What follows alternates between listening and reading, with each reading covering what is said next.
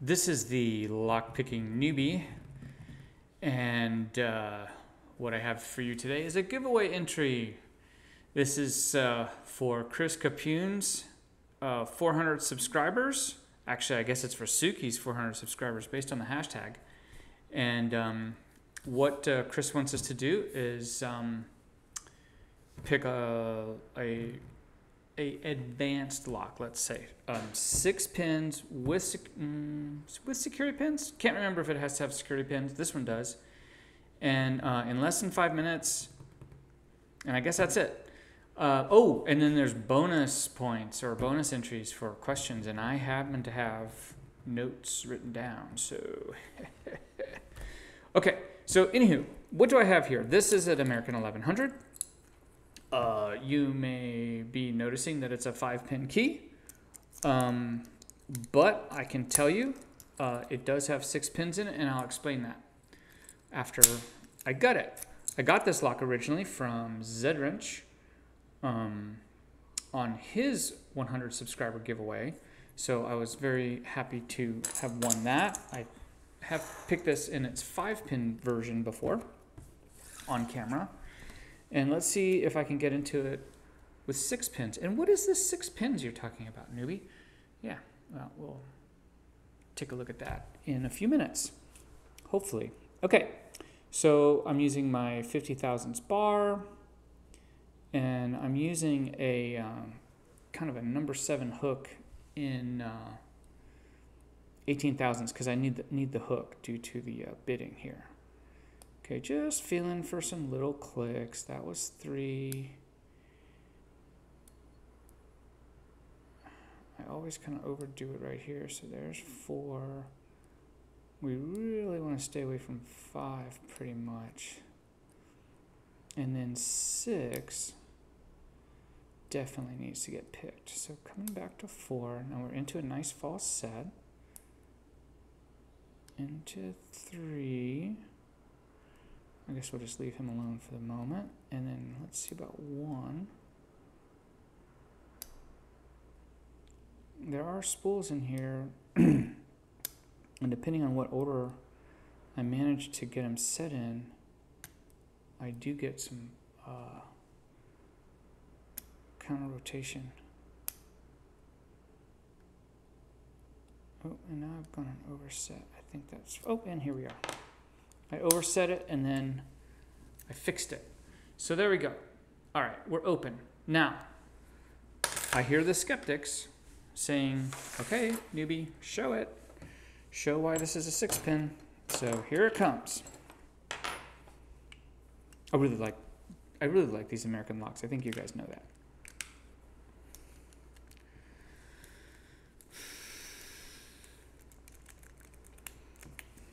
Get this stuff out.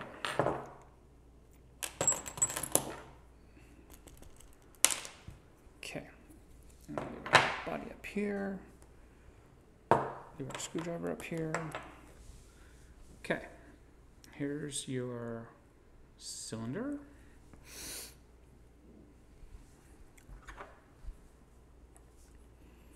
Have my world's most favorite uh, C-clip remover.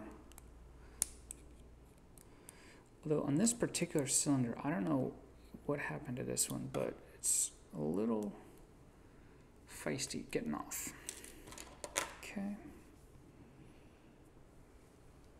That guy up there out of the way.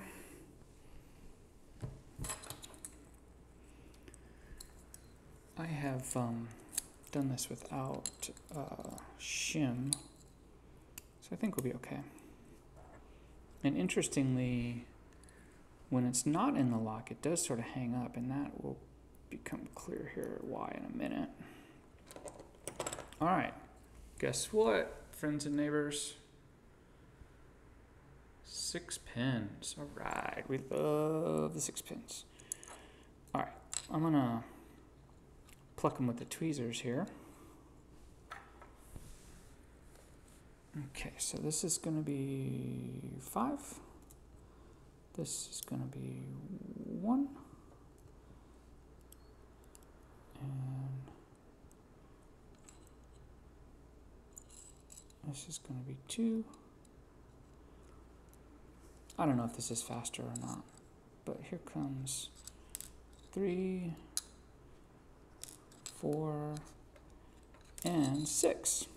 All right, so what I did, and you guys have probably guessed this by now, is I took the sixth chamber and I just put um, a pin in it such that it would intersect with the key, with the key in it.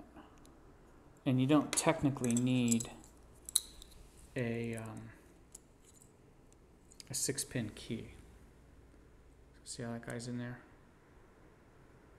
All right.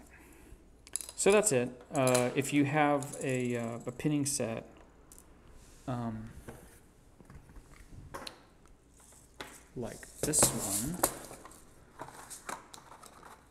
you'll have enough pins. Look at that. Isn't that a beauty? Anyway, if you have a pinning set like that, you'll have enough pins to um, to do that. All right, I'm going to go from the front because I'm just going to keep the suspense going on you for these amazing uh, this amazing pin 6 that's coming up. And actually, I don't remember what all these pins are in here. I'm pretty sure I gutted it before, but I don't remember what all these are.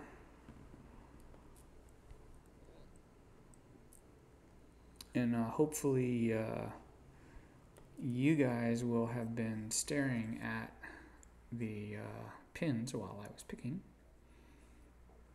I kind of do that sometimes. I think you might know that.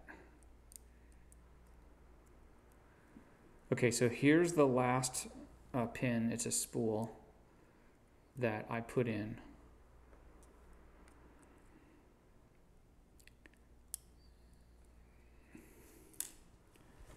All right. So the lock. Um, was all you know this the way I I received it um, from Zedwrench.